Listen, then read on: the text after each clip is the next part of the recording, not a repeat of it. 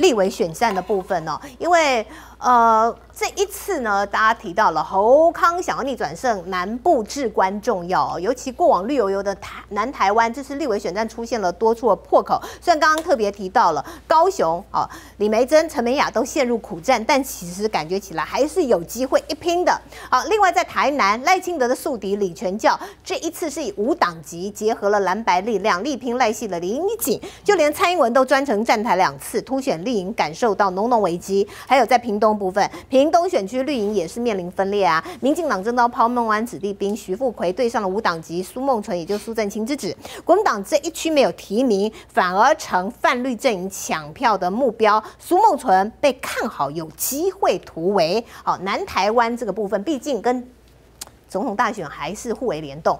火鸡，对，最近我也在整理一些这个所谓的泛绿分裂的选区啦。那我们先从这个陈美雅这个选区开始讲哦，就是呃郭背红的能量有能有多强啊，决定陈美雅当选的机会有多大。但是呢，黄杰他很确定的就是说，为什么为什么很多人都在讲哦，哎，赵天林就这样被拔掉，难道他地方的组织不会有怨言吗？我告诉你哦，如果赵天林想再起哦，你这次最好把黄觉福选上。真的是如此。你你黄杰选不上，不是怪黄杰，是怪你赵天麟呢。没错。所以你赵天，你要未来，你必须全力把资源全部给黄杰。我讲这就是民进党现实的地方。加上黄杰又有陈其迈全力加持，所以黄杰他很清楚哦，他要他只在乎一件事情：年轻票给我票票入柜。嗯。所以他现在的所有做法就是年轻人全部回来，那组织反正赵天你这边都会帮我处理好。这个就是民进党在优势选区的打法。哦，所以这个选区我老实说，陈美雅绝对苦战了。哎，不要乐观。然后再来。刚刚其实提到说左左南有没有机会？我认为有机会，嗯，但是关键在于你的这个，就是说你的，我我我还是强调了，就算总统不能蓝白合哦，如果我举个例子哦，假设柯文哲列出新潮流下架名单呐，他的总统票假设假设不管有多少票，十五趴也好，二十趴也罢，这些票，因为你总总总会有立委有有有政政党票嘛。假设还有最后，他们柯文哲用一个投票指南，哪个选区 这个人叫做对这个死亡笔记本黑名单，把李博义 李博义列进新潮流列进去，那他的盘就是哦，这个人不能投。那你你你懂吧？我懂，这个需要哦。就是说某种程度，这个对国民党这叫什么借东风啦？对，就是你蓝军有参选，民众党没有参选的选区，如果今天民众党愿意去助你这一臂之力。对蓝军来讲是正面的，这也是刚刚为什么蔡蔡委员说，如果蓝白和陈美雅相对好选，就是这个概念有没有办法在立委选战里面出现？这个是后来未未来一个月有有没有机会我不知道，但是如果有的话，对蓝军来讲，相对来讲在立委选战会比较轻松一点。可是呢，好，那左营去上一届是为什么？郭新正，嗯，那个谁杀了那个李欣那个那个那个案子，郭新正拿拿了拿了好像两万票哎。对，快上万。对啊，哇，这个这个不不得了哎，不得了哎！如果以蓝军在那边的盘，因为他一定是拿蓝的票，甚至是蓝蓝里面讨厌蓝的票，嗯嗯，所以所以你这种这种内自己内部的分裂，你就没有办法，你要赢就很困难了。可是这理论上左南蓝军确实有机会让高雄不会被玩疯，至少左南应该要有机会去拼了。那剩下的当然就是看整个大环境。而台南，我我老实说，我不认为李全教机会很大。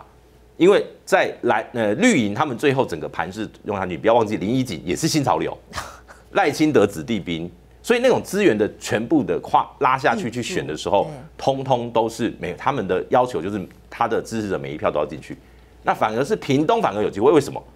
因为国民党这次苏清泉是等于说策略性的支持他们，等于是苏家子弟兵嘛，嗯，就是说哦跟苏正清这个系统去结盟。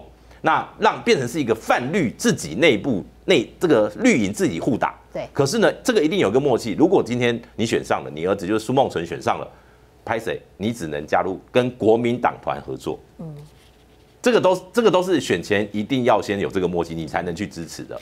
否则，如果今天他选上，然后说啊我要回民进党，还得了？对不对？对。所以我说，像这种 这种选法，在这种地方的选区，第一个组织实力跟这种所谓的政党派系有没有？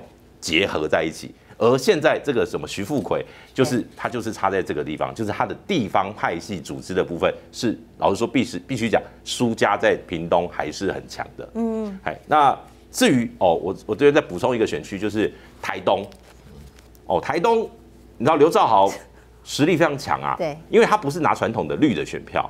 那我我听到一个版本是说赖坤成现在民调落后啊，哦哦，赖坤成是啊那个蓝绿跟五党籍这三三个主要的候选人，他是他是第三名啊，第三，他是第三啊，所以你你你你说刘兆豪那个这个脱党参选对赖坤成压力有多大？嗯，非常大。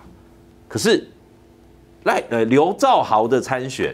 他是预留了重返民进党的一个那个叫做呃默契哦，就如果刘兆豪选上，很抱歉，他都又回到民进党，他有留后路啦。就是说我因西又拿一席，所以这个这个地方关键就是在于蓝军够不够团结。理论上绿营分裂，在尤其在台东这个选区，理论上应该是蓝军可以轻骑过关。理论上没错，对，哎，但是这种这种，当你今天提的人不够强，所以我说劳庆林他的浮选的力道就要非常强。包括你看最近，因为吴俊立啊这些都归队了嘛，蓝军也分裂，对对，蓝军也有分裂啦，哎，所以所以我说这个就是很多地方都是要思考，就是哦，它有它在地的因素，那也有一些这个大环境的因素，但关键还是哦，你总统票，我讲最后三票绑在一起，总统选得好，你立委就会选得好。那北台湾大家知道怎么样比的是一个仇恨值吗？哦，港湖的部分呢，因为绿营自己啦，高嘉瑜遭受到这个激进党的无心带来抢票，所以他现在这个腹背受敌，而得罪了独派势力。好，那么更传出有民党派系暗助，让高嘉瑜陷入了泛绿内战。好，那吴兴代因为选举文宣上面还印有赖清德的照片，所以呢，民党台北市党部主委张茂南呼吁选民集中选票，全力支持高嘉瑜。啊，陈建忠也去帮他了。高嘉瑜就批评这个吴兴代鱼目混珠、山寨行为，让人无法接受。不过这一区感觉起来是不是毫无悬念？呃，应该李彦秀哦，哦，是不是？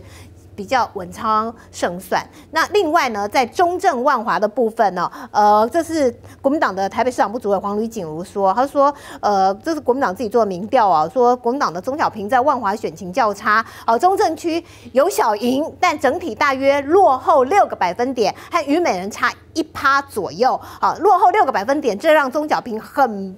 不服气，他说我自己做的民调，好是赢三到六趴嘛，好，那么另外黄旅呢，还有特别讲到了这一区哦，这个是超绿超绿绿到出汁，第二选区，好，这个地方呢是游淑慧对战坚哥王世坚，但是黄旅说刚开始的时候游淑慧民调真的差很多哦，现在每个月成长大约九趴，和王世坚。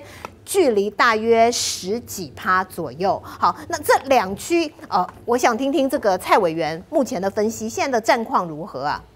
在大同这个区域哈，跟旧市林啊。这个国民党跟民进党的实力差距在十五趴是正常的，嗯，所以你说有署委已经能够攻进去十五趴的范围，已经很了不起的成就，很厉害。因为国民党以前在输啊，也不会输超过十五趴，啊，就是一打数维持那么差距在里面哈，所以有署委已经很了不起了，能够缩小到十五趴以内。他他没经营过哎，嗯，他就这样一下子丢下去就有这种成绩，然后他真的很努力。上次输三十趴。好可怕！上次那个什么样的差距啊？不是，那没有再选，因为连那是国民党连三成都拿不到。对，没有再选。我们平常讲，上次我们国民党，我觉得连人都没看到哈。没再选。那你像你像那周守信就赢了，嗯，对不对哈？后来几次都在十五趴以内啊。我现在讲正常的状况啊。不过我是觉得我们的主委当然很辛苦了哈。诶诶，不用太坦坦白哦，应该学朱立伦一样啊，我们赢多零点多少，因为角色不同嘛。比如说我我做这个这评论人，我当然要要所谓的中肯，要诚实，然后要要理性来判断哈啊，不能说哎呀国民党呃不能骗了骗这个所谓的这个听众朋友哈。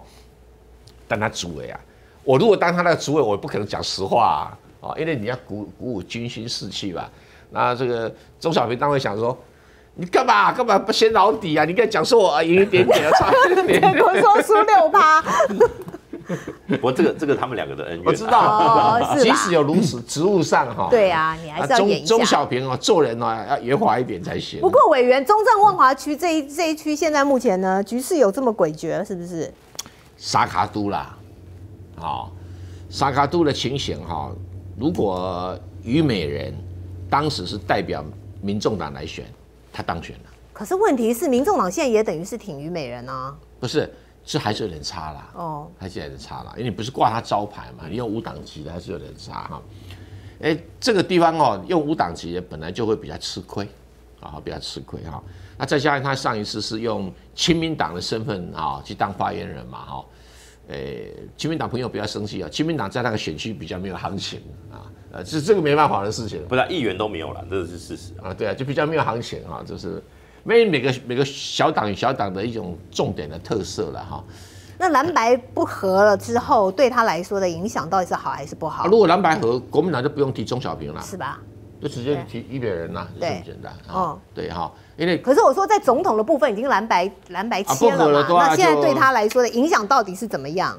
影响到底就都很辛苦啊，不确定性很高啊，变成变成这个民进党的当选率就提高了嘛，呃，这个没办法的事情，这个大环境跟跟他们没有关系哈。就像台中，其实台中最重要就是个因素啦，国民党啊，除了个卢秀燕太强了，没有别的原因啦。你，你什么马祖姓林？现在台中的马祖姓卢，好不好？搞错了，有没有搞错？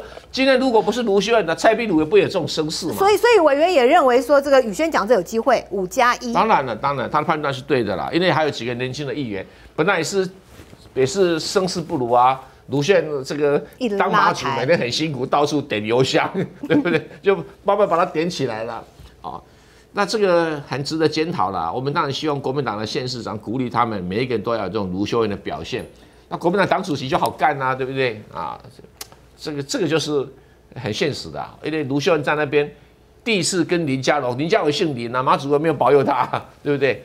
他把林佳龙就打下来了啊。那第二次蔡其昌是新潮流是何等能人，资源人力冲丢下去了，二十九个选区，对不起，全部都输。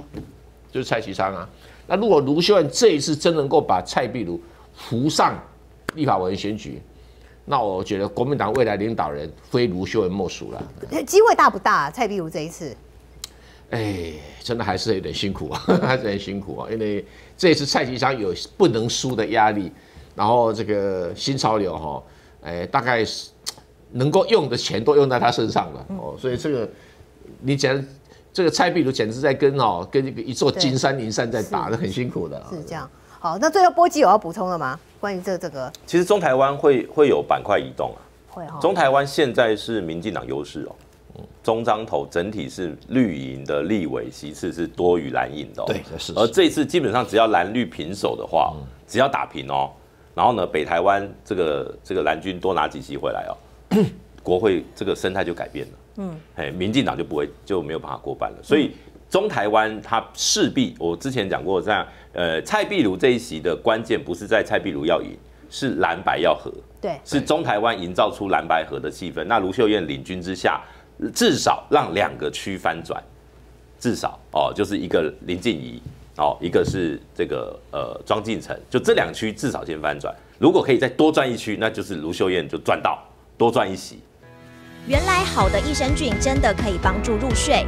太阳星全效克菲尔益生菌是国家认证 AB 克菲尔益生菌，含七种有身份证的专利活菌，能产生伽巴、色氨酸等助眠因子，难怪吃了更快入睡，也睡得更好。太阳星全效克菲尔益生菌也是台湾市场上唯一添加克菲尔乳杆菌 M1 的产品，这是由台湾知名的大学季转，对季节敏感、调整体质的朋友真的是一大福音。还有这支还添加被称为超级食物的羽衣甘蓝萃取物，不少研究都指出十字花科蔬菜有助抗炎及防癌，像是羽衣甘蓝含有高量的叶黄素、贝塔胡萝卜素、维生素 K、维生素 C、叶酸等丰富营养素。太阳星全效克菲尔益生菌专利制成，无塑化剂、无重金属、无人工添加物、无四百一十项农药、无香料调味剂、无防腐剂、无色素，七大保证、七大认证，觉得好安心。每日克菲尔时刻美好，Good Feel Feel Good，快点购下单！太阳星全效克菲尔益生菌。